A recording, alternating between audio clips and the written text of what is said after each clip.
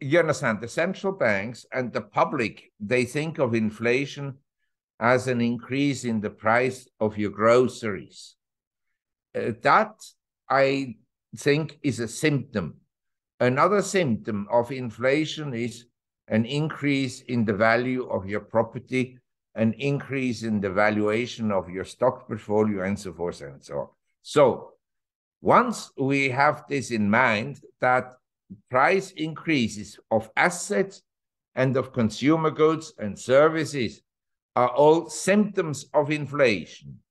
Then we measure inflation as an increase in the liquidity of a country, like the money supply or the, the monetary base, and there are different measures how to measure the size of the money pot.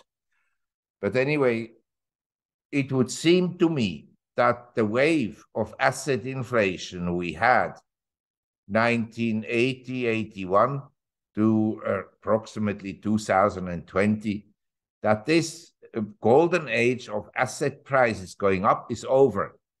Now from here on investors should contain their expectations and in some cases they have to maybe live with the fact that in 10, 20 years' time, uh, their portfolios in real terms, inflation adjusted, will be down.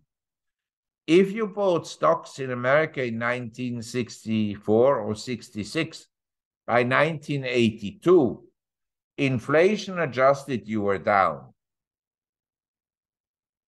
And I believe inflation adjusted, a lot of assets will go down. Now, in life, if you have a hundred and in 10 years' time you wake up and have only 70, as long as all the other people are down to 50, you have increased your relative wealth. On the other hand, if you have 100 and you go to 150, you may feel good, but if all everybody else has 200, it's in real terms not desirable. So I would not worry too much about losing money as long as you lose less than other people, because then your purchasing power goes up. And so uh, I try to communicate to investors the returns going forward uh, on assets will be disappointing. Now, I mentioned these special situations before because even if the overall returns are disappointing, you can still find here and there an asset that goes up a lot. This year, sugar has performed very well. Other commodities haven't done well. Gold has done okay, nothing special. But in my view, precious metals in physical form are still attractive.